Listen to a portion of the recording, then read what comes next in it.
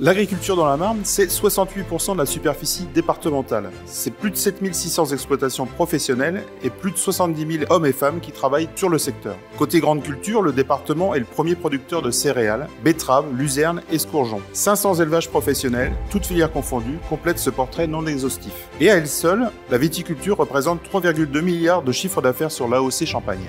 Notre territoire, par sa diversité, est créateur de valeur. On a la capacité de semer de récolter, de stocker, mais également de transformer et commercialiser. Pour finir le tout, on peut arroser ça au champagne.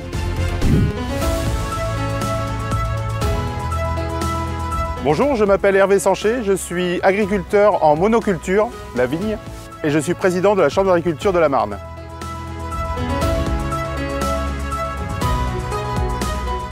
Le territoire, c'est tout ça. Vous êtes ici dans les vignes, vous avez des champs derrière, vous avez de la forêt derrière, et c'est un ensemble de collaborateurs, d'élus, qui sont au service de tous nos agriculteurs, de tous nos viticulteurs, mais également les collectivités pour répondre à leurs besoins quotidiens. C'est vraiment ça la force de la Chambre d'agriculture.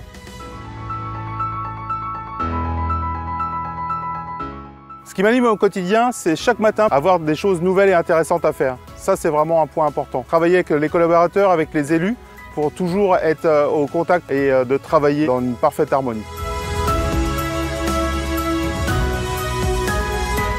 J'ai toujours eu dans mon ADN le collectif. L'agriculture marnaise en est le parfait exemple. Dans la façon de travailler, c'est de travailler en collectif. On a la force de pouvoir être réunis, euh, que ce soit agriculteurs, viticulteurs, sous une même volonté d'accompagner la profession. Et la seule chose qui nous fait avancer tous ensemble, c'est bien l'agriculture.